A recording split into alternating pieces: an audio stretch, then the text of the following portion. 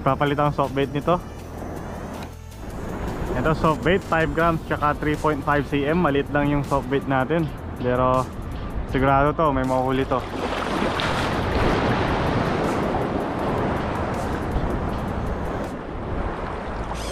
Ayan guys. Meron agad. First cast pa lang. Grabe, ang laking needlefish. Uy!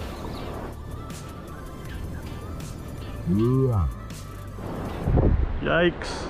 Huwag mo akong tutusukin. Ano yan? Para sa atin talaga to. oh.